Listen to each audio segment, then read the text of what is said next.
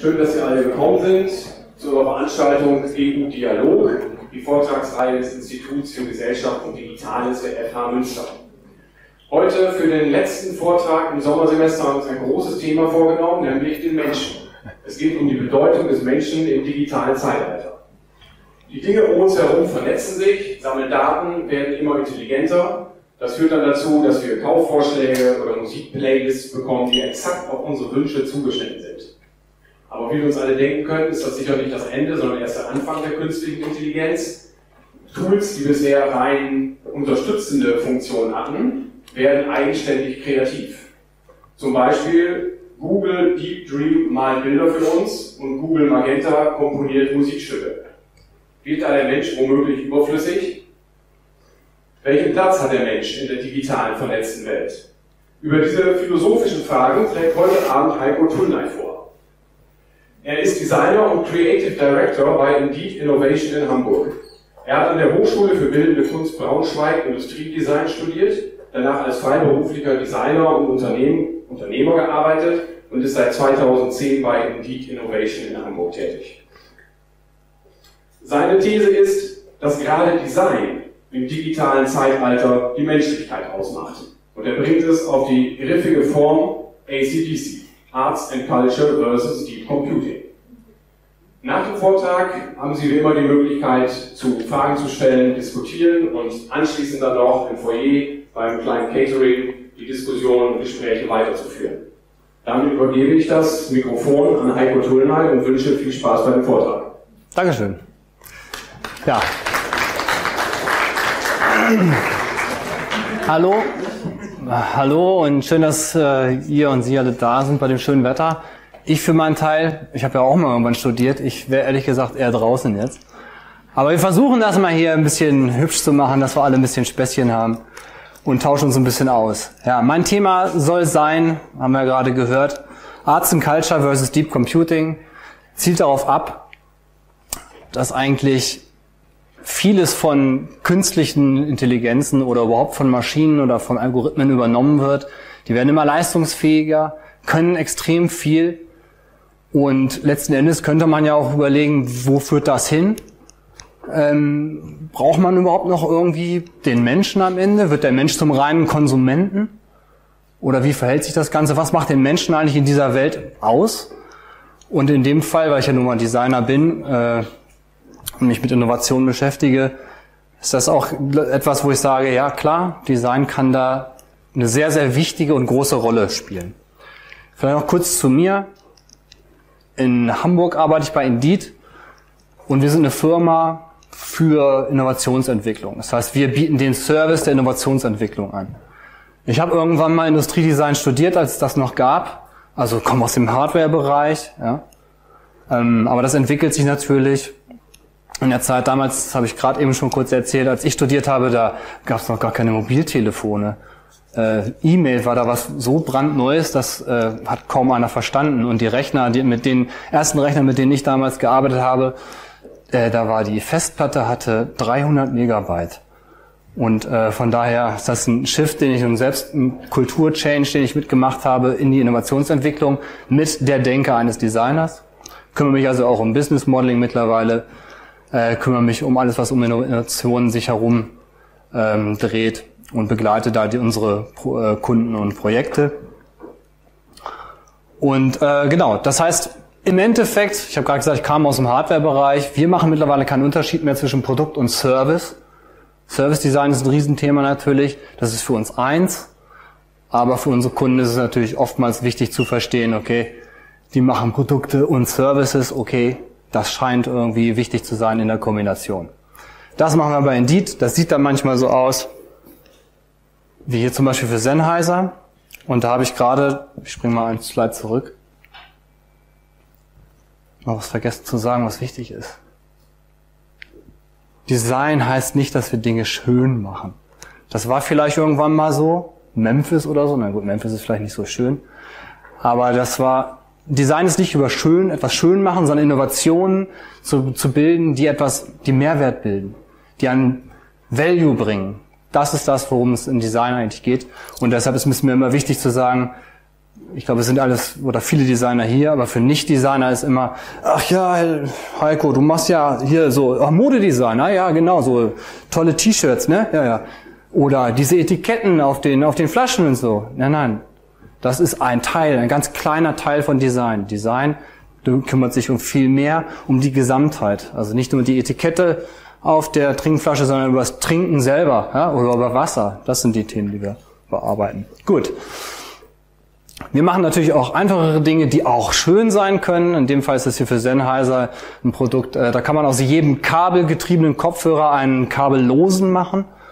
Sozusagen, man steckt einfach dieses Kabel in diese kleine Box und damit hat man im Prinzip dann einen kabellosen Kopfhörer, hat den Hintergrund, weil ich gesagt habe, es soll Mehrwert bieten, dass man sich vielleicht nicht den nächsten tollen, großen, teuren Kopfhörer kaufen möchte, sondern man hat vielleicht schon einen für 300, 400 Euro zu Hause und äh, den möchte man dann vielleicht ähm, cordless machen. Das kann man mit diesem Gerät. Sowas entwickeln wir.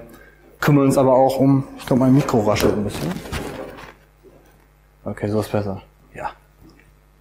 Okay, sonst schalten wir es einfach aus. Gut. Ähm, wir kümmern uns aber auch um Themen, ich habe gerade gesagt, Service Design ist ein Riesending. Das ist ein Produkt, das wir zurzeit versuchen, oder das ist noch in der Entwicklung, deshalb sage ich versuchen, äh, in Kapstadt zu launchen als Testmarkt. Und zwar ist Kapstadt nicht zwingend die sicherste Stadt auf der Welt. Das heißt, wenn man da nachts unterwegs ist oder so, äh, gibt es dann schon ein hohes Sicherheitsbedürfnis. Und äh, mit diesem Clip hier, das trägt die Dame hier am Revers, kann man jederzeit einen Sicherheitsdienst rufen. Das heißt, da ist binnen von ja, Sekunden will ich nicht sagen, aber von wenigen Minuten ist da so ein bewaffnetes Team dann vor Ort und äh, kann einem sozusagen dann helfen. Es ist ein großes Sicherheitsbedürfnis da vor Ort, was, da, was wir da erkannt haben. Das Interessante ist von der Mache her, dass es hier eine Verbindung gibt zwischen Hardware, die einmal da ist, ähm, als Clip, und dem Service sozusagen, der auch schon vorhanden ist. Weil Sicherheitsteams gibt es in Kapstadt relativ viel, aber dieses äh, ähm, äh, dieses Gerät sozusagen, der Service, der dahinter steckt, verbindet diese ganzen Teams miteinander und sozusagen das funktioniert so, dass man im Prinzip äh, so eine monatliche einen Beitrag bezahlt, also wie so eine, eine Flatrate eigentlich. Ich glaube, das sind irgendwie 10 Dollar oder sowas. Äh, und dann kann man auf diesen Service zugreifen und hat immer sowas dabei. Und sowas kümmern wir uns auch. Nicht zwingend Hardware oder gar keine Hardware mehr involviert. Ist, wir machen auch Apps, machen wir eine App. Das ist Tinder für Essen. Also Vielleicht kennt ihr das ja auch. Oh, wo gehen wir denn jetzt mal essen? Was, oder man guckt irgendwie, keine Ahnung, manche sitzen zu Hause, Netflix, was wollen wir jetzt machen? Pizza schon wieder? Äh, weiß ich nicht. Und man kümmert sich zwei Stunden darum, zwei Stunden darum, ich bin vielleicht auch laut genug. Oder so. Ich dachte, du wolltest mir an. Nein, Gott. Ähm, Tinder fürs Essen sozusagen. Also man kann hier werden in diesen Service werden eingespiesen alle Angebote, die so im näheren Kreis irgendwie vorhanden sind. Also die Restaurants können da ihre Angebote reinstellen. So ein bisschen wie bei Airbnb auch. Das heißt, da kommt dann ein Service, macht schöne Fotos vom Essen, weil das kann ja auch nicht jeder. Also nur weil ich ein toller Koch bin, mache ich noch lange kein tolles Foto von meinem Essen. Und dann kann ich mich da halt durchswipen und am Ende finde ich relativ schnell raus, oder besser raus, was ich vielleicht dann irgendwie am liebsten mag, ohne jetzt irgendwas zu übersehen oder schon wieder die Pizza Margarita zu nehmen. Also, damit möchte ich nur sagen, wir decken eigentlich die gesamte Ebene ab von reinen Hardware bis hin zur Software und alles immer versuchen, und das ist ja das Wichtige dabei, immer mit Sinn zu füllen, auch diesen Mehrwert da drin zu haben. Das ist das Entscheidende. Das heißt, nicht nur hübsche Bilder zu machen, sondern es soll ja auch Wert haben. Das ist unser Thema. Gut, wenn man sich jetzt überlegt, was ich gerade gesagt habe, was das Thema ist, künstliche Intelligenzen, Maschinen, Deep Learning, das übernimmt alles mehr und mehr, könnte man ja sagen, klar, das ist die Zukunft. Weil AI, da geht was, da müssen wir rein, das ist, wird alles übernehmen, das wird die Welt verändern, dramatisch. Da gibt es auch ein paar Visionäre, die sagen, gut, das ist auch gut, wenn der Mensch vielleicht nicht mehr so wichtig ist, dass da die Systeme das übernehmen, eine bessere Welt dadurch vielleicht erschaffen. Und dann gibt es die andere Partei eventuell, die sagt, nee, Kunst und Kultur, das ist das, was den Menschen ausmacht. Das müssen wir auch schützen. Das ist ganz wichtig, dass, dass wir das behalten. Das sind so zwei Pole, die gegeneinander eigentlich ähm, nicht vielleicht nicht arbeiten, aber so sind zwei Gegenpole. Deshalb auch dieser Blitz in der Mitte. Die Frage ist nämlich dann, wo bleibt denn der Mensch in diesem Spiel? Was, was passiert mit dem Menschen eigentlich? Und wenn man jetzt sagt, Kunst, Kultur, das ist das, was den Menschen ausmacht, werfen wir mal kurz einen Blick auf den Kulturbegriff. Können sicherlich einige besser erklären und auch wissenschaftlicher. Ich mache das mal so ganz hands-on. Ähm, Kultur ist eigentlich das, was man aus etwas Bestehenden etwas Neues schafft. Also Agrikultur zum Beispiel. Ne? Man hat einen Acker und man hat einen Samen, den man pflanzt und daraus erwächst was Neues. Eine Pflanze, ein Baum, eine Blume, irgendwas. Das ist das eigentlich so, die Schaffenskraft, das ist das, was den, den Menschen ausmacht und die kulturelle Performance ist eigentlich das, wo man sagt, aus etwas Bestehenden etwas Neues schaffen, etwas Größeres schaffen, etwas anderes schaffen. Wenn man das mal so nimmt und dann sagt, Deep Computing sich anguckt, und zum Beispiel haben wir hier eine, einen Algorithmus bzw. eine künstliche Intelligenz, die heißt Albert. also die, ich weiß nicht, kennt es jemand?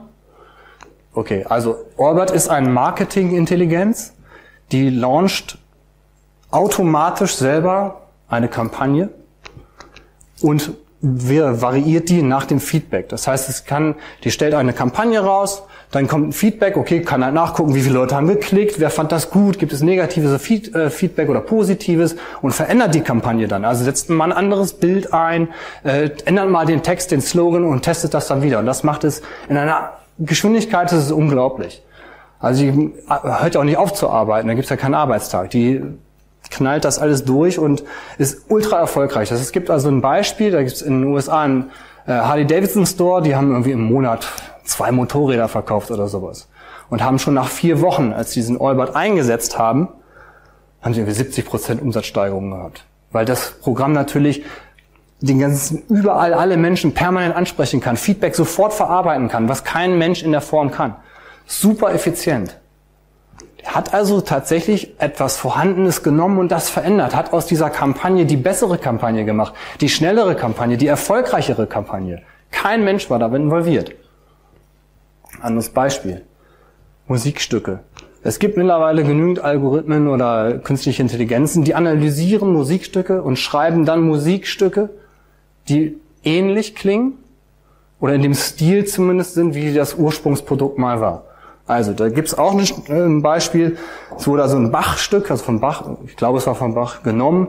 Die künstliche Intelligenz hat das Stück analysiert, durchgerechnet und sich genauestens angeguckt und dann mehrere Musikstücke dazu geschrieben im Sinne von Bach, die der natürlich nie geschrieben hat. Die gab es so nie, diese Songs.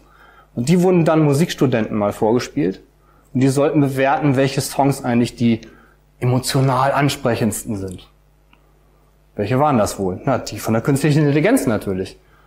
Also da war wieder so ein Punkt, wo die künstliche Intelligenz das bessere Bachstück geschrieben hat, als der das selbst hingekriegt hat. Durch die Analyse und die Umformung. Auch aus etwas Bestehenden etwas Neues geschaffen. Kultur. Das gibt's auch für Malerei. In Berlin gibt's einen Künstler, der hat, das, hat gesagt, er will das mal ausprobieren, er will mal wissen, wie das funktioniert. Eine künstliche Intelligenz hat all seine Malereien analysiert und ausprobiert und äh, durchgerechnet und hat dann selbstständig angefangen, Bilder in seinem Stil zu malen. Und das, es war so erfolgreich, also auch wieder aus etwas Bestehendem etwas Neues geschaffen, dass diese künstliche Intelligenz jetzt die Muse dieses Künstlers ist. Das heißt, sie arbeiten zusammen. Auch da war die künstliche Intelligenz, ja. Also man denkt ja immer so, ja, Malerei, das kann künstliche Intelligenz nicht. Oder Musik, wie im klassischen Sinne, das kann künstliche Intelligenz nicht. Doch, das können die. Die, die nehmen etwas Bestehendes und schaffen etwas Neues daraus.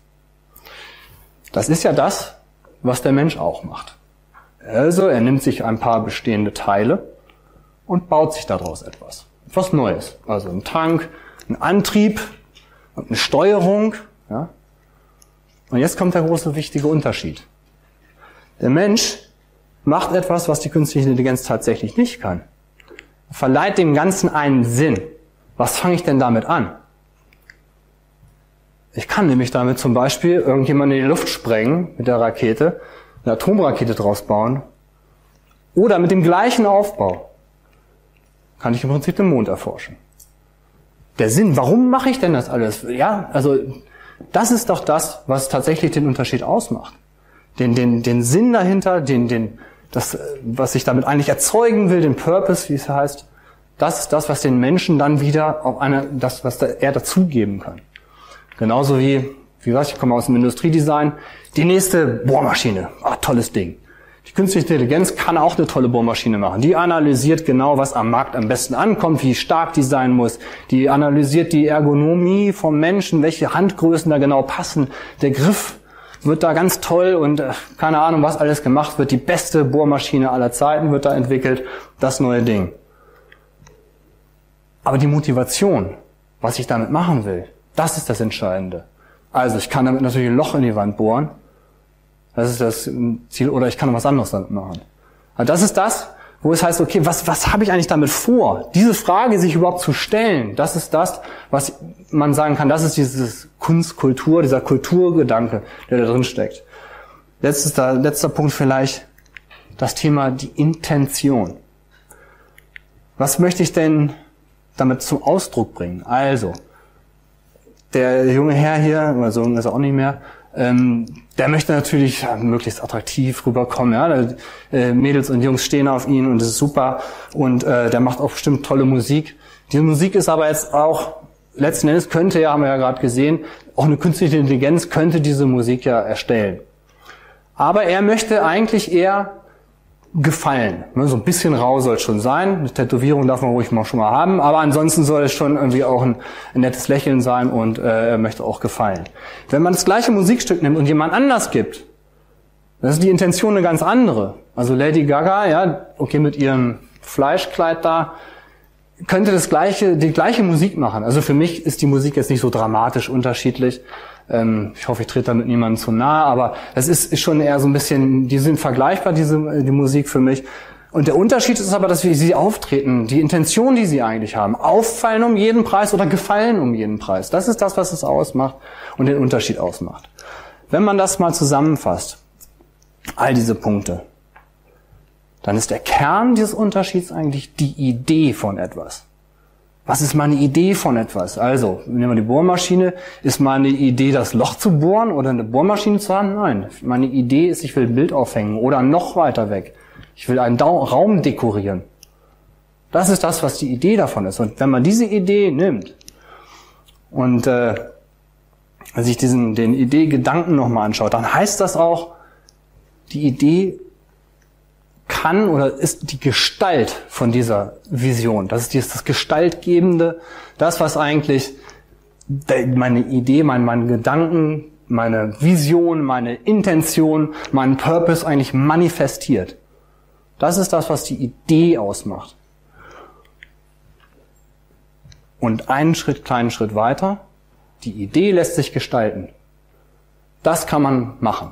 Das, da hat man die ureigenste Schöpferkraft eigentlich und sagt, gut, da greife ich ein, die Idee, das kann ich gestalten. Wie die Bohrmaschine hinterher ist, ob die von Rechnern äh, erdacht wird, äh, beziehungsweise im Detail äh, in der Ergonomie angepasst wird und ob Roboter die hinterher bauen, spielt letzten Endes auch gar keine Rolle. Aber die Idee der Bohrmaschine oder die Idee, etwas zu dekorieren, die kann ich gestalten. Das ist da, wo Design eingreifen muss. Das ganze Bild betrachten, nicht nur einen kleinen Teil. Wenn man also das nochmal versucht gegenüberzustellen oder beziehungsweise in so ein Raster mal einzubauen. Effizienz. Alle Maschinen dieser Welt werden immer effizienter und auch effizienter sein als der Mensch. Das ist auch nichts Neues. Das war schon im industriellen Zeitalter so. Da kann man einfach nicht, da kann man nicht mithalten. Es sollte aber auch nicht die Idee sein oder das, das Ziel eines Menschen sein, schneller zu sein als ein Rechner, mehr sich merken zu können oder sowas. Und Pflichterfüllung. Weil Pflichterfüllung, okay, ich muss das jetzt machen, ich mache es. Es ist doch schön, wenn mir das einer abnimmt. Da ist die künstliche Intelligenz auch zu Hause, da ist sie besser. Das interessiert doch die künstliche Intelligenz nicht, ob sie das nun gerade mag, was sie da macht. Noch nicht. Ne? Vielleicht ändert sich das auch noch. Aber die, das, das ist etwas, wo sie zu Hause ist. Wunderbar, super. Ich ehrlich gesagt kümmere mich doch viel lieber, und das ist das, was wir auch können, um den Effekt. Ich will doch was erzeugen. Ich will auch gar nicht irgendwie die Bohrmaschine am schnellsten zusammenbauen, sondern ich will einfach einen Effekt erzeugen, dass der Raum toll dekoriert ist. Brauche gar keine Bohrmaschine. Ja, ich nehme nämlich Kleber. So. Schon habe ich einen Effekt. Und ich will dabei auch Spaß haben. Ja? Das, das ist meine Motivation, dass ich das mache. Da ist der Mensch zu Hause mit seiner Idee. Und das, was der Mensch da kreiert und das, was ihn ausmacht, das füttert er in die Intelligenz ein. Das heißt, wenn ich einen Einfall habe, also den tollen Kleber zum Beispiel, dann kann ich den natürlich auch effizient umsetzen lassen, weiter optimieren lassen. Ja, nochmal gucken, ob die eine künstliche Intelligenz hilft, die Moleküle noch ein bisschen anders zu ordnen oder sowas. Und ich kann mit dem Spaßfaktor vor allem auch Dinge machen, die einfach sinnlos sind. Also eine künstliche Intelligenz hat gar keinen Antrieb, irgendwas Sinnloses zu machen. Ich mache es aber, ich, aus Spaß mache ich das. Warum fahre ich mit zwei Brettern den Berg runter? Ich muss nicht von A nach B. Ich will aber eine gute Zeit haben. Das kann ich als Mensch machen, das macht mich dann aus. Die Skier, na klar, die dann irgendwie noch besser zu machen, noch effizienter zu machen für den Sport, da helfen dann die Systeme wieder. Das heißt, im Endeffekt haben wir als Mensch mit der Möglichkeit Design alles in der Hand, um dieses sozusagen das, was man mit künstlicher Intelligenz erzeugen kann, menschlich zu machen, zu, zu designen für den Menschen, den Menschen wieder in den Vordergrund zu stellen oder in den Mittelpunkt zumindest zu stellen. Wie macht man das? Gut, das ist jetzt wahrscheinlich etwas, was auch schon alle kennen. Design Thinking, haben wahrscheinlich alle schon gehört, oder? Na, okay. Design Thinking, ich würde mal sagen, ähm, sollte bekannt sein, ich erkläre es trotzdem ganz kurz. Design Thinking ist im Prinzip eine Art, eine Methodik, die sozusagen da einen, einen ich will nicht, ich wollte gerade sagen, linearen Prozess, eine Methodik, die im Prinzip eine Art Guideline sein kann, wie man Ideen entwickelt, wie man Innovationen entwickelt. Und Design Thinking, das wollen halt auch gerade, also im Professional-Bereich, sozusagen die Industrie, jeder schreit danach, alle wollen das, weil alle denken, uh, das ist ja Ledernia Kri, oh, das ist ja mal ganz was Neues. Und ich sage, das ist Babykram. Design Thinking ist Babykram. Nicht, weil es so einfach ist, sondern weil es so natürlich ist. Denn wie funktioniert Design Thinking? Auch auf die Gefahr hin, dass ich jetzt kurz eine einminütige Langweiler-Vorführung habe, falls ihr es schon kennt. Ich erkläre es trotzdem kurz für die, die das noch nicht so gehört haben. Wie entwickelt man etwas Neues? Wie kriegt man das äh, insgesamt hin? So wie es ein Baby ein Kind auch macht. Ich schaue mir erstmal die Situation, in der ich bin, an. Ich identifiziere erstmal was. Oh, da steht so ein Schaukelpferd. Mhm, das scheint sich irgendwie so zu bewegen. Aha, da ist irgendwie so ein Sitz drin. Gut, gucken wir uns das mal an. Und dann probiere ich das mal am besten mal selber aus. Ich setze mich mal drauf, wie fühlt sich das eigentlich an? Ah ja, so und so macht man das. Aha, hier halte ich mich am besten fest. Uh, ja, runtergefallen. Ah ja, vielleicht muss ich mich andersrum hinsetzen. Das macht man im Design Thinking genauso. Man analysiert erstmal, was, worum geht es überhaupt nicht, was ist das Thema? Probiert es aus, macht ein Research, um dann Ideen daraus zu generieren. Wie kann ich damit umgehen? Was, wie gestalte ich das vielleicht auch? Wie kann ich damit anders umgehen? Ja, was kann ich vielleicht auch, vielleicht auch verbessern? Ich mag das nicht so gerne verbessern, das ist nicht so innovativ, aber gibt es natürlich auch. Wenn ich das habe, dann ähm, kann ich daraus Konzepte entwickeln. Ja, unterschiedlich, also Schaukelpferd mit äh, großem Kopf, mit kleinem Kopf, mit Sitz, mit Doppelsitz, mit was weiß ich was. Und am Ende wird es natürlich auch geliefert, wird hergestellt und dann hat man das. Also die Denkweise ist eigentlich sonnenklar. Zurück zur künstlichen Intelligenz und den Arts and Culture. Der vordere Bereich, identifizieren, explorieren, ist Daten sammeln. Daten sammeln und vielleicht clustern. Das ist etwas, wo eine künstliche Intelligenz ganz viel machen kann, auch schneller machen kann. Also ne, der Albert da, der die Marktdaten sammelt, der ist besser und schneller als jedes, keine Ahnung, hundertköpfige Marketingteam. Das schaffen die nicht schafft die Maschine aber alleine. Super stark ist die künstliche Intelligenz da im Analysieren. Und hinten raus, also das sozusagen das, das fertig kreieren, optimieren und dann delivern, ist nichts Neues. Gut, Roboterstraßen gibt's schon seit, weiß ich nicht wie viel Jahrzehnten. Ja, da sind die auch schneller und besser. Dann könnte man ja sagen, alles klar, das Entscheidende ist in der Mitte die Idee, das hatten wir ja gerade. Und das ist das, was den Menschen auch ausmacht. Und da würde ich sogar so weit gehen, was den Designer besonders ausmacht, ist die Empathie. Die Empathie für den Menschen. Sich reinzufühlen in das, wie es Menschen geht bei der ganzen Aktion. Fühlen sie sich gut, schlecht oder wollen die sich überhaupt nach irgendwas fühlen? Ja? Diese, sich in, diese, in die Rolle reinversetzen.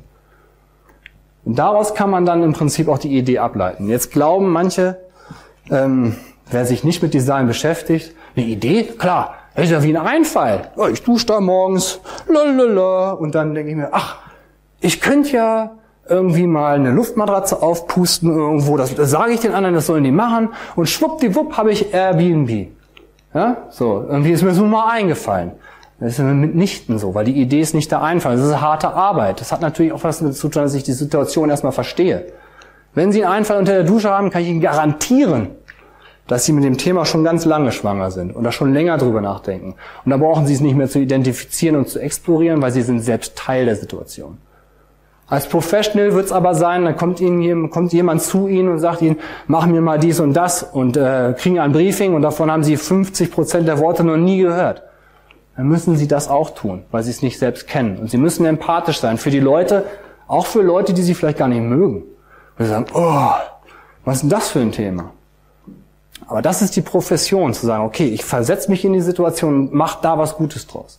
Das ist das, was im Prinzip das Gesamte ausmacht. Und das macht man auch nicht alleine. Also ganz selten. Es gibt natürlich ein paar geniale Menschen, die dann haben mal eine Idee oder sowas. Normalerweise macht man das zusammen, tauscht sich aus im Team, nicht nur im Team, sondern auch im gemischten Team, dass eben alles zusammenarbeiten. Es bringt ja nichts, wenn der Ingenieur oder der Informatiker sich eine tolle Technologie ausdenkt und dann aber derjenige, der das Ganze hinterher benutzt, äh, damit gar nichts anzufangen weiß. Das muss natürlich zusammenkommen, das macht man im Team. Und da können dann zum Beispiel so Sachen entstehen, wie dieses, äh, Tackle nennt sich das, das ist eine App, die ist in den USA einigermaßen verbreitet.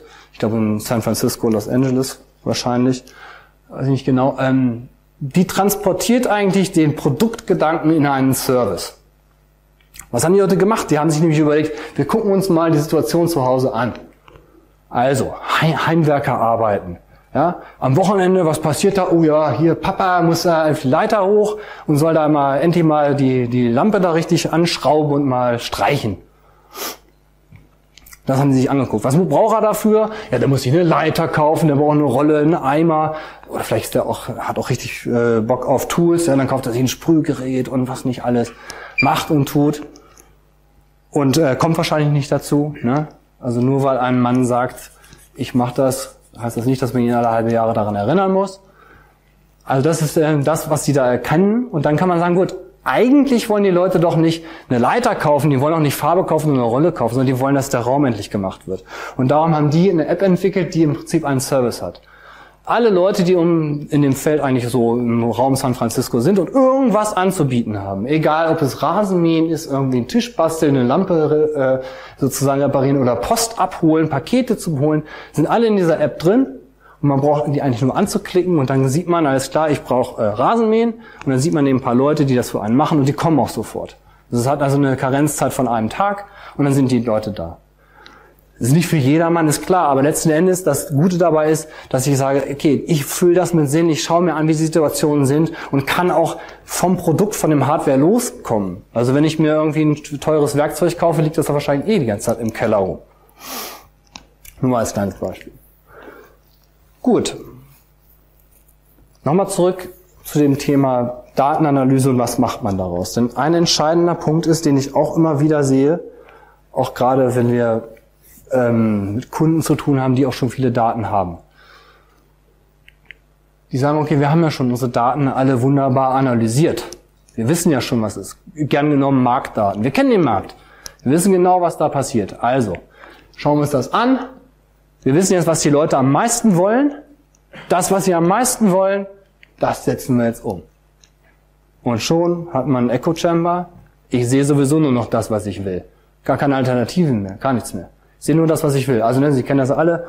Ich habe bei Amazon äh, eine Waschmaschine bestellt. Auf einmal kriege ich Waschmaschinenwerbung. Klar, es ist jetzt ein ganz simpler Fall. Aber letzten Endes ist die Denke oft, mit Daten sehe ich mir an, was die Leute wollen und das gebe ich denen. Es geht aber nicht darum, äh, was die Leute wollen, sondern es geht darum, was die Leute brauchen. Das ist das Entscheidende. Das heißt, die Daten, klar, muss man vernünftig analysieren. Und dann empathisch zu sein und sich anzuschauen, Job to be done, ist da so ein, so ein geschützter Begriff mittlerweile, glaube ich sogar.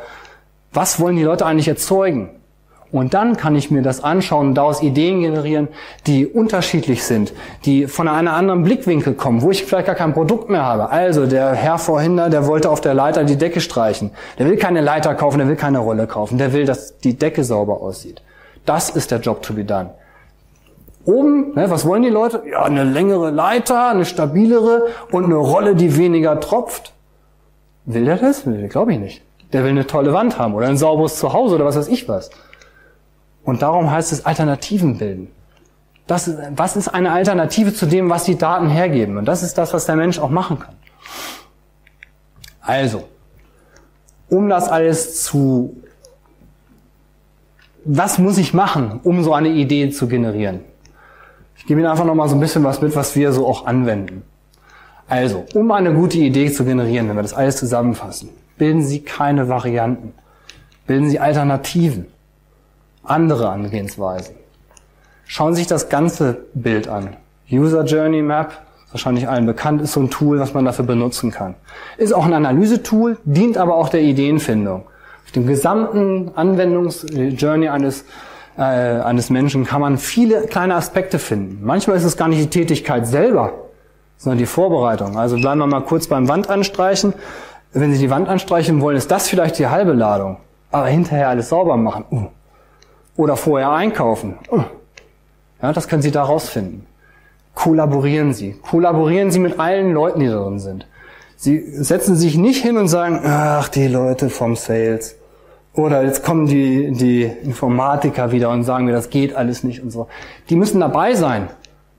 Sie müssen die Empathie für auch diese Leute immer mitbringen. Das ist ganz wichtig. Das, es gibt so eine, es gibt so eine Designer-Arroganz. Wir wissen das. Ich weiß das. Ich kann das auch schön machen. Ne? Das weiß ich alles. Brauche ich euch nicht für. Ist Quatsch. Das ist falsch. Es ist nur richtig, wenn man sagt, als Designer kann ich die zusammenbringen, kann empathisch mit den Stakeholdern umgehen. Also Co-Creation-Workshops machen. Bauen Sie auf Ideen anderer auf. Auch so eine manchmal gern gesehene Designerneigung. Mensch, da wäre eine tolle Idee. Bei der bleibe ich jetzt, die verteidige ich. Damit gehe ich jetzt durch. Das ist die beste Idee, die ich jemals hatte. Super. Nein. Stellen Sie Ihre Idee zur Verfügung, lassen Sie andere etwas dazu tun. Nehmen Sie die Ideen von anderen und bauen Sie sie weiter. Machen Sie einen Teamgedanken daraus.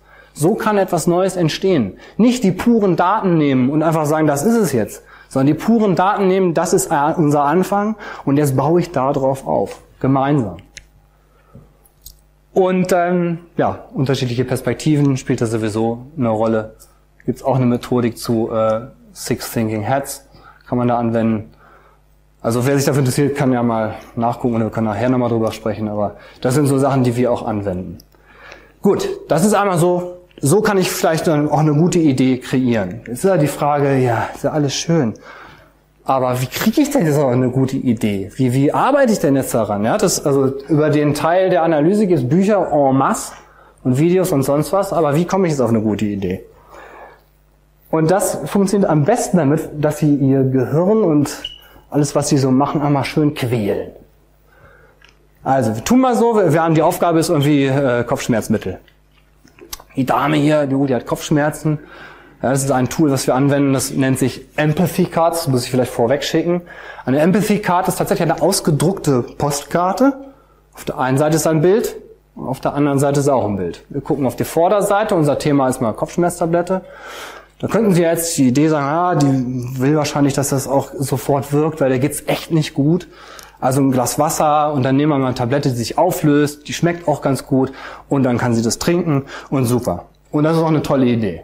So, und jetzt quälen Sie Ihr Gehirn nochmal und sagen, alles klar, die gleiche Idee muss für den Kollegen jetzt funktionieren. Der ist in irgendeinem Kriegsgebiet, keine Ahnung, das, also hat miteinander überhaupt nichts zu tun, gar nichts. Die gleiche Idee nochmal nehmen, okay. Ah je, okay, der hat keine Hand frei, der hat auch keine Zeit und vor allem hat er kein Glas Wasser. Muss aber genauso schnell funktionieren. Vielleicht braucht der irgend so Dragé, den er mit einer Hand in den Mund drücken kann. Und schon haben sie eine Alternative gebildet und nicht eine Variante. Also nicht die größere oder die Tablette, die sich schneller, noch schneller auflöst und noch schneller auflöst, sondern im Prinzip eine Alternative gebildet. Und das hilft ihnen, aus unterschiedlichsten, manchmal auch völlig unsinnigen Situationen herauszugehen. Nicht um damit die Lösung zu finden, aber um Alternativen zu bilden und Alternativen zu finden, mit denen sie dann später umgehen können. Ein Tool, was ich persönlich super finde, ist, das kennen Sie vielleicht auch, von IDEO ist das entwickelt worden, Service Flip nennt sich das. Die Idee ist auch dabei wieder etwas zu ignorieren, was man glaubt, dass es das Richtige ist. Wir nehmen als Beispiel Waschmaschine.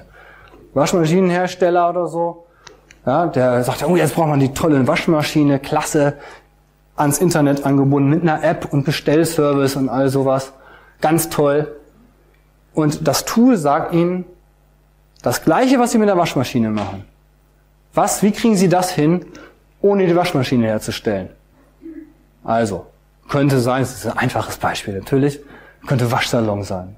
Oder ein Service, der sozusagen ihre Wäsche abholt, reinigt und wieder zurückbringt. Dafür brauchen Sie als Hersteller keine Waschmaschine herstellen. So, sowas wie Uber. Uber hat keine Fahrzeuge, keine Fahrer, nichts. Die haben auch keinen ausgebildet, niemand, nix. Es ist einfach ein reiner Service, der auf etwas zugreift, was da ist. Waschmaschine, wir haben kein Auto hergestellt. Ich würde sogar mal behaupten, die wissen auch gar nicht, wie das geht. Ist auch unwichtig. Und das kann man mit so einem Tool machen. Nicht, dass jetzt Firma Bosch sagt, ja, ist ja super, dass sie uns vorschlagen, keine Waschmaschinen mehr herzustellen. Aber es hilft, eine Situation zu verstehen, Ideen zu generieren und sie von anderen Seiten zu betrachten. Warum soll ich das eigentlich alles machen? Weil ein Produkt ein Service ist und weil es am Ende darauf ankommt, wie das Erlebnis damit ist. Also die, die neue Waschmaschine, wenn die doch so toll und effizient waschen kann, wird es irgendwann mal eine geben, die noch effizienter ist. Aber wie erlebe ich das Waschen zum Beispiel? Ist das überhaupt ein Erlebnis für mich oder ist das ein Erlebnis, was ich gar nicht haben will?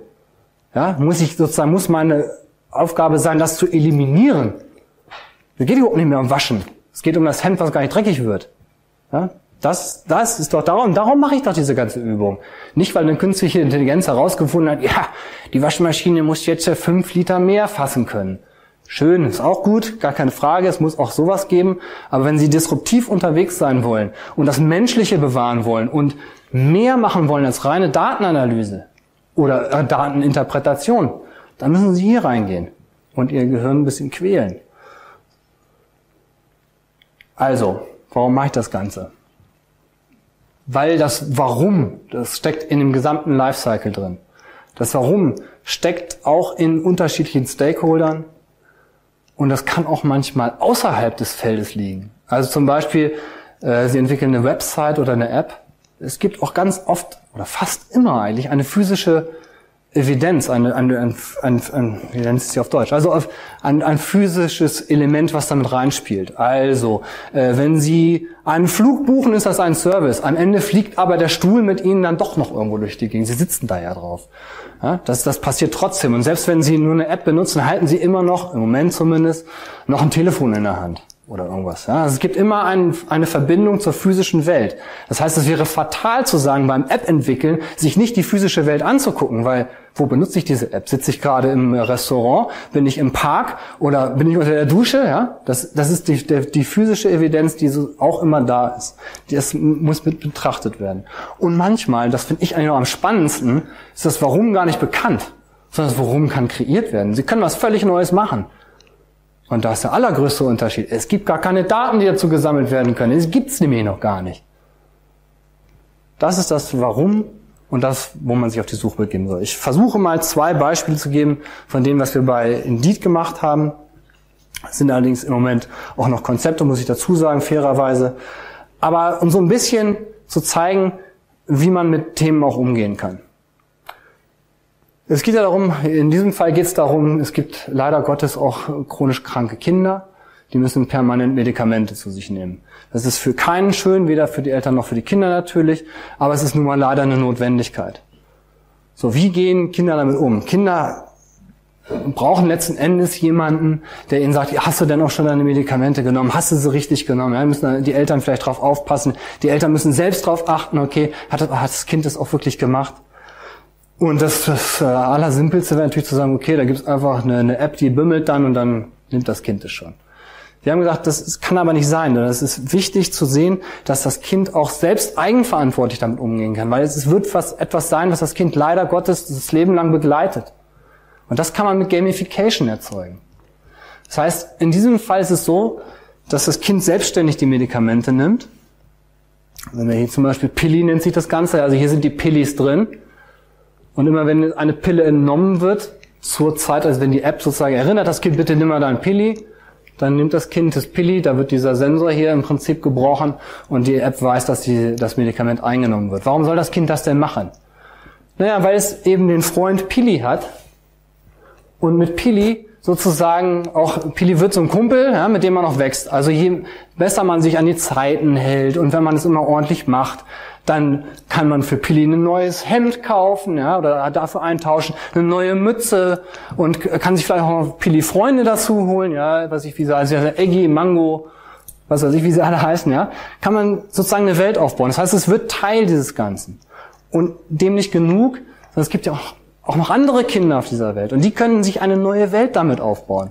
Und schon, es geht ja nicht darum zu sagen, das beste Medikament zu entwickeln, sondern es geht erstmal darum, das möglichst angenehm fürs Kind zu machen oder vielleicht sogar so zu machen, dass es auch Spaß bringen kann, sich um diese, diese nicht schönen Medikamente sozusagen zu kümmern, eine Regelmäßigkeit reinzubringen und damit spielerisch umzugehen. Gamification, also. Zweites Beispiel. Musik. Also man könnte ja sagen, Musik über Kopfhörer, tolle Sache. Wir könnten auch da wieder Daten analysieren und einen ganz tollen Kopfhörer machen. Ich würde aber immer dazu raten, wie gesagt, wenn man die Möglichkeit im Professional Life auch hat, dann immer auch disruptiv zu denken und sagen, okay, worum geht es denn eigentlich wirklich? Es geht nicht um den Kopfhörer, sondern es geht um das Musikerlebnis. Und das Musikerlebnis heißt nicht, dass ich es nur höre, sondern dass ich es tatsächlich erlebe. So wie diese Dame hier, die ist vielleicht im Park irgendwo unterwegs und hört gerade an dieser Stelle ein irgendein Musikstück, was super passt. Also in diese Situation. Ach Mensch, ach, das fühlt sich ja super an hier, toll. Mit diesem Kopfhörer hat sie jetzt die Möglichkeit, den Song, den sie hört, über eine Geste sozusagen abzustreifen vom Kopfhörer und einen Geotech zu setzen. Das heißt also, zu diesem Zeitpunkt im Park, keine Ahnung, Hamburg Planten und Blumen, ja, habe ich gesessen, Sonne scheint, ich habe diesen Song gehört, den streife ich ab, dann wird in Geotech gelegt und dann gehe ich eben weiter. Jemand, der auch diesen Kopfhörer hat oder eben verbunden über ein anderes Smart Device, muss ja nicht im Kopfhörer eingebaut sein, es kann ja auch im Smartphone sein, kommt da vorbei und sagt, ach guck mal, hier hat jemand was abgelegt, das höre ich mir einfach mal spaßeshalber mal an und hat dann dasselbe oder kann ein ähnliches Ergebnis haben. Was sogar so weit dazu führen kann, dass man sagen kann, okay, ich folge mal dieser Person, ja. Ich bin Fan von dieser Person. Weil ich war da in London und da waren echt, da waren an jeder Stelle waren da so super Songs, die haben immer so toll gepasst. Das, das hat einfach ideal gepasst mit der Uhrzeit auch. Dieser Person folge ich. Das heißt, man kann auch selbst wieder damit das eigene Erlebnis nochmal, nochmal steigern und sagen, ich bin, hab auch Bock drauf, die Musik mit anderen zu teilen. Und zwar so, wie ich sie erlebt habe. Also es geht darum, das Erlebnis zu, zu äh, gestalten. Das sind die Dinge, mit denen wir uns da beschäftigen. Schließen wir den Kreis mal. Also, wir sagen, Deep Computing, super wichtig, ja, Datenanalyse haben wir ja gesagt, und äh, in der Ausführung auch ganz wichtig, da funktioniert das super. Ganz klar, die Idee ist das, was eigentlich den Menschen ausmacht. Jetzt nehmen wir und ich auch im Besonderen aber wahr, dass sowohl im Design als auch in der Wirtschaft die Daten sehr stark, ich will nicht sagen überhand nehmen, aber immens wichtig werden. Das heißt also, es wird am vorderen Ende ein Research gemacht. Oh, wir fliegen von äh, Hongkong nach Paris und äh, dann nach Quebec, keine Ahnung. Analysieren da alles, sind Monate unterwegs, sammeln Daten ohne Ende, analysieren unsere Marktdaten. Da wird Geld reingesteckt, immens viel Geld. Und man weiß auch schon, dass was da hinten rauskommt, das wird uns auch nochmal viel Geld kosten. Gerade wenn es Hardware ist, so eine Entwicklung ist immens teuer. Da wird die Idee ziemlich zusammengeschoben. Es kann also sein, dass du sagen, ja, wir waren jetzt vier Monate unterwegs, jetzt machen wir mal einen Eintagesworkshop mit zwei Leuten und da haben, Sie sind doch Designer, Sie haben ja mal eine tolle Idee jetzt, Sie haben noch einen Einfall. Ja? Das kann ja eigentlich so nicht funktionieren.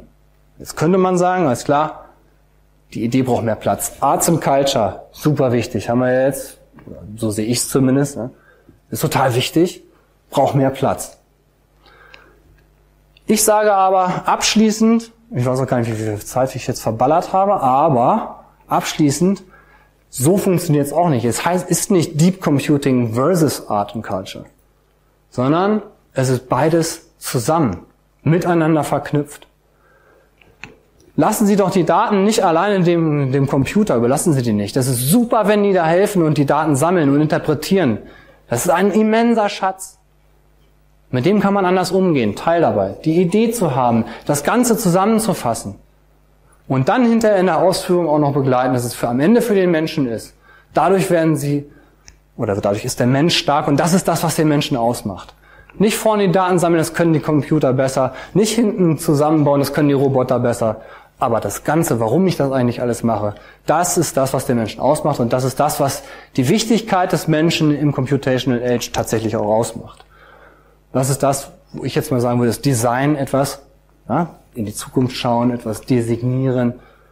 Das ist das, wo Design am allerstärksten ist. Und damit schaffen sie es auch, aus dem Menschen mehr zu machen. Danke.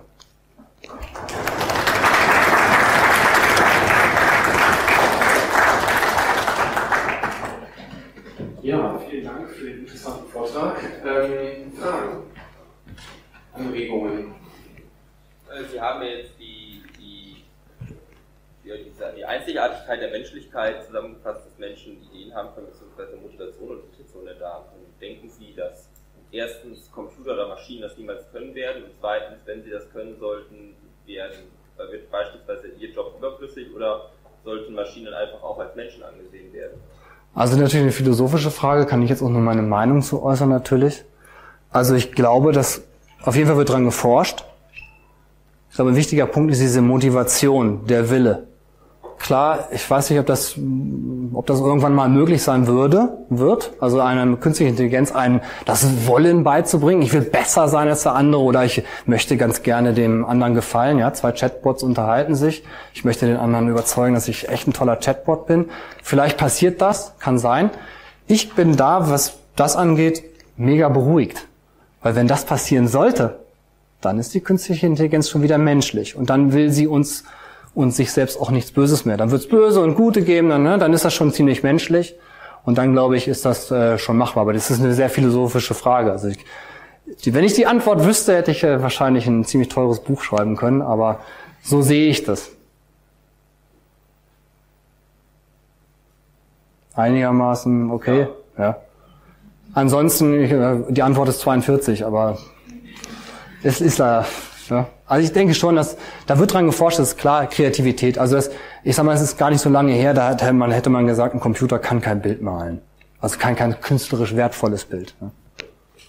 Da, da habe ich, also so wie ich das verstanden habe, vor allem in dem Beispiel ist es doch nur, dass der Computer Muster analysiert. Das können ja neuronale Netze sehr gut. Also ich ja. erkenne Muster in Musik ja. und ähm, kann dann beispielsweise erkennen, wo etwas im Bild sich befindet und was sich befindet ja. und kann das dann in irgendeiner Weise replizieren. Also kann Rauschen in das Muster einbringen, können das äh, genau.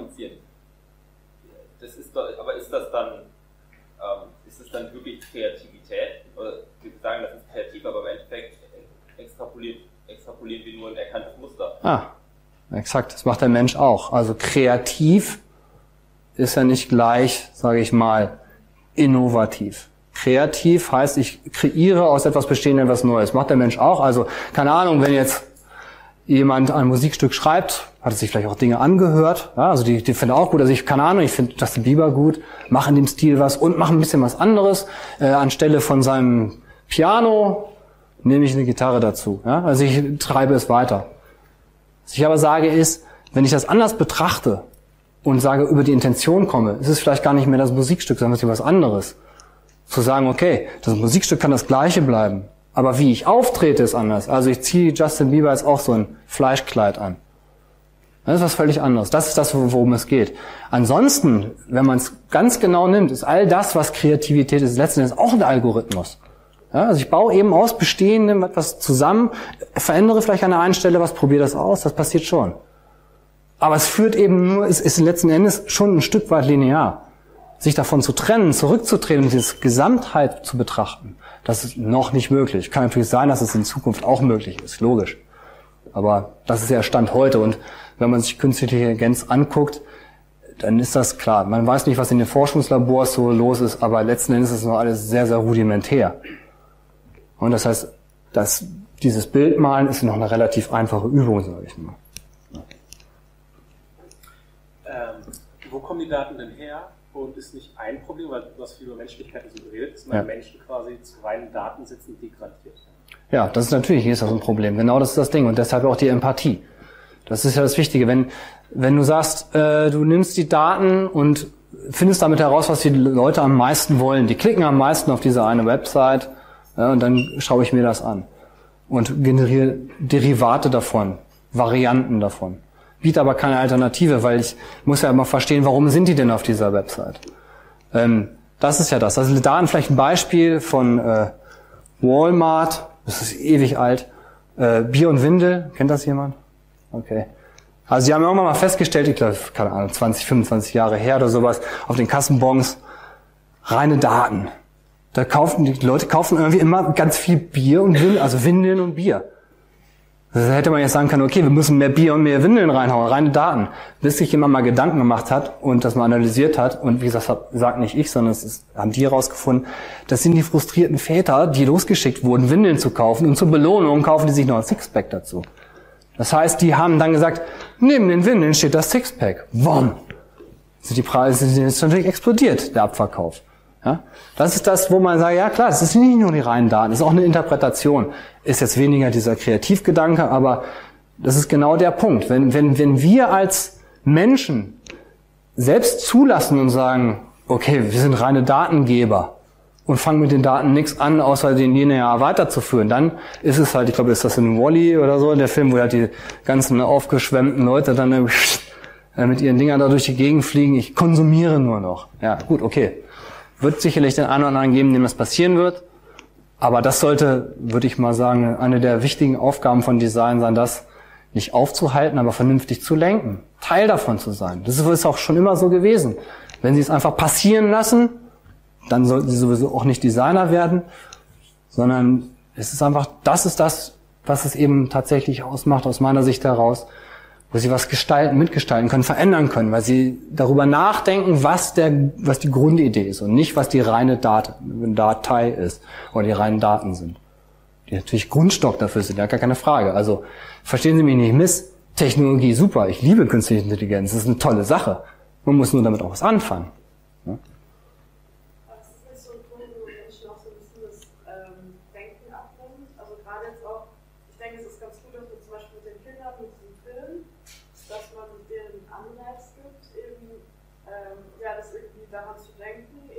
ja. Wirkung oder halt Umsetzung, aber es ist wirklich so, dass. Also ich finde es voll schwierig, weil ich mir das Gefühl habe, dass man dadurch so ein bisschen abstumpft und ich mir auch so zum Beispiel den Wichtig, Wichtigkeit von so Tabletten, dass man da. Also ich finde es. Ja, ja. Ja, ist klar. Die, ja, das ist, das ist natürlich, also es ist auch ein Beispiel, wie man damit umgehen kann. Ich sage auch nicht, dass das, wie gesagt, das ist ein Konzept. Ich kann jetzt auch nicht sagen, wir haben keine Studien darüber, ob das jetzt wunderbar funktioniert. Der Gedanke dabei ist aber, anders damit umzugehen. Aus etwas vermeintlich Negativen, aus der Pflichterfüllung, den Spaß zu machen. Ja, aus, aus, der, aus der reinen Effizienz einen Effekt zu erzeugen. Das ist eigentlich das, worum es dabei geht. Das ist ein Weg und natürlich muss man immer bedenken, dass es das alles auch eine Wertigkeit hat. Aber mir geht es eigentlich darum zu sagen, wir sollten niemals vergessen, dass wir darüber nachdenken sollten. Also ich, es wird ganz oft, es passiert ganz oft im Professional Life auch, da kommt ein Briefing rein, da steht dann drin, wir haben, wissen schon alles, jetzt machen Sie mal hier die Website schön oder machen Sie mal die Bohrmaschine toll, ja, und dann wird es einfach gemacht und keiner denkt darüber mehr nach. Aber ich sage, man muss sich die Zeit nehmen. Das muss ja kein Jahr sein, aber sich mal eine Stunde hinsetzen und mal sagen, okay, ich durchdringe das mal. Und da steht zwar nicht im Briefing drin, aber ich schlage jetzt trotzdem mal was vor. Nur so können Sie doch was erzeugen, sonst, sonst sind Sie Erfüllungsgehilfe und ich sage Ihnen, das werden andere besser machen. Ich habe gerade zum Beispiel, ich weiß nicht, ob Sie sich mit CAD-Programmen auskennen, ähm, AutoCAD, die haben jetzt gerade was rausgebracht, das nennt sich äh, Dreamlands. Das ist im, äh, im Prinzip ein, ein Unterstützungstool, das kann über statische Punkte sozusagen eine, eine, etwas erzeugen. Also muss, muss ich plastischer erklären. Also ein Fernseher und am Fernseher ist ein Fuß. Das heißt, der Fernseher drückt nach oben, nach unten und der Tisch muss dann den Fernseher irgendwie tragen. Diese beiden Punkte geben sie an und Dreamlands erzeugt dazwischen alle möglichen Hunderte Hunderte von Fernsehständern, die Sie sich vorstellen können. Die sehen alle unterschiedlich aus. Eckig, rund, dreibeinig, vierbeinig, einbeinig, sonst alles, alles. Dafür brauchen Sie keinen Designer mehr, der, der irgendwie sagt, okay, drei Bein oder ein Bein. Wofür Sie aber einen Designer brauchen, ist muss der Fernseher A überhaupt stehen, kann er auch hängen oder was will ich eigentlich? Will ich Fernsehen gucken oder will ich einen Film genießen? Oder will ich mich erholen, entspannen? Ja, das ist das, wo es entscheidend ist. Es ist eine Veränderung. Klar, als ich mal damals studiert habe, da haben alle irgendwie Fernseher gestaltet. Das machen Computer in all, nicht allzu weiter Ferne auch. Und zwar schneller als sie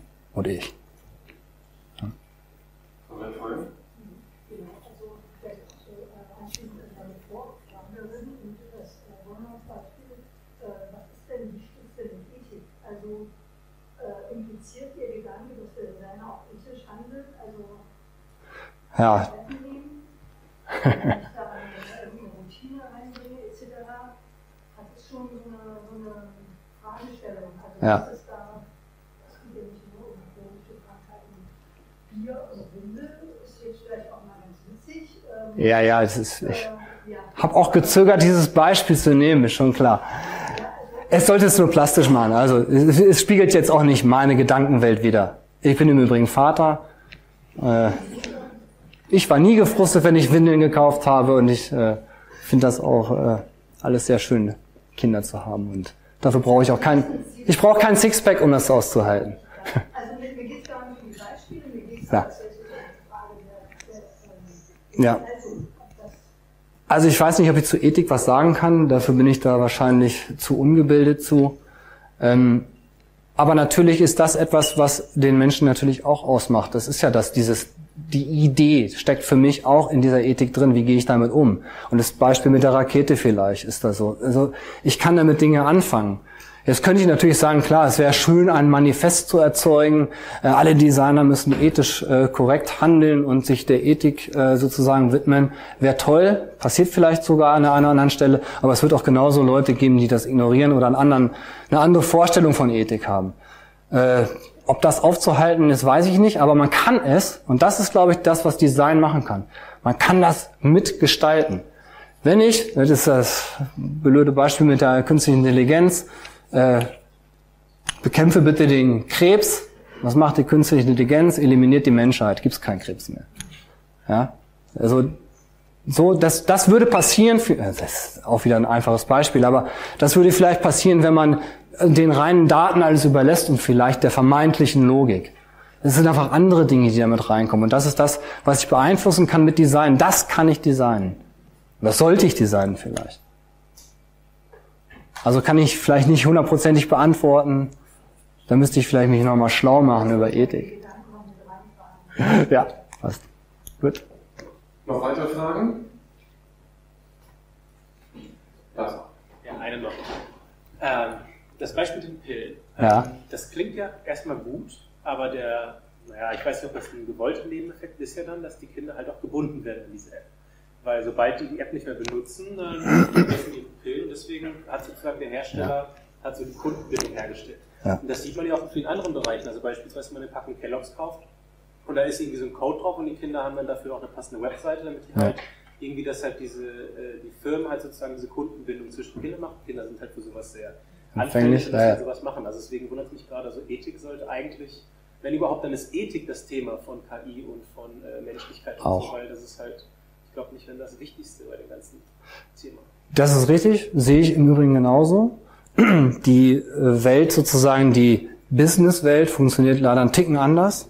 Auch da gibt es natürlich ethische Ansprüche. Am Ende des Tages geht es aber auch darum, auch Geld zu machen. Ob das jetzt ethisch richtig ist, ich will jetzt keine Diskussion über Geld anfangen, aber eine Firma hat natürlich auch ein Interesse daran, natürlich auch ihre Kunden zu binden und nicht, nicht nur der Heilsbringer auf der Welt zu sein, sondern es muss auch eben im Prinzip, um das alles machen zu können, müssen sie ja auch was abverkaufen, sage ich mal. Ja, die, Jetzt, die muss halt ständig mit neuen Daten gefüttert werden. Also auch. die Konkurrenz halt stärker. genau so ist es, natürlich. Das ist halt auch irgendwie ein ja, natürlich. Das, das ist aber, das liegt, auch da geht es geht's ja darum, wie sie damit umgehen. Das ist, wie gesagt, das ist ein Konzept.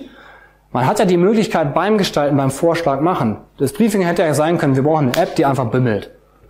Das können sagen wir, okay, man kann es mit Gamification verknüpfen. Jetzt könnte man auch sagen, wir haben damit, weil wir das ja vorschlagen als Designer, eher so ethische Bedenken. Wir machen so noch einen weiteren Vorschlag. Wir bauen auf dieser Idee auf und sagen, okay, das spielerische Element ist gut, weil es eben das, das negative, das negative Gefühl eher in was Positives münzt, haben aber ein Problem vielleicht damit und sagen, das ist es an eine Firma geknüpft. Das wollen wir nicht. So, jetzt müssen wir, müssen wir natürlich gucken, was wäre so unser Auftraggeber, ja, also wir haben ja einen Auftraggeber, aber es könnte ja sein, ich sage, gut, ich möchte das lieber, dass es an mehrere Firmen geht. Ich möchte das public stellen, ja, dass alle das benutzen können und jeder sein Produkt da einstellen kann. Das ist, ist eine endlose Kette, aber das ist das, was ich gesagt habe, mit auf den Ideen aufbauen. Also das, was wir gerade machen, ist eigentlich genau das, was ich vorhin erzählt habe. Ich sage jetzt, oh, das ist die tollste Idee mit dem Pilli. Und du sagst, ah, Moment mal, das ist ein neuer Punkt. Also wir machen dieses, kennt ihr wahrscheinlich auch, nicht das Ja-Aber-Spiel, sondern das Ja-Und-Spiel. Ja und, ja und. Und die Idee wird größer, besser. Vielleicht kommt sie ganz woanders raus. Das ist genau das, worum es geht. Ja? Gut, wenn keine Fragen mehr sind, würde ich sagen, gehen wir ins Foyer zum Catering und diskutieren da weiter. Und vielen Dank nochmal an Heiko Tull.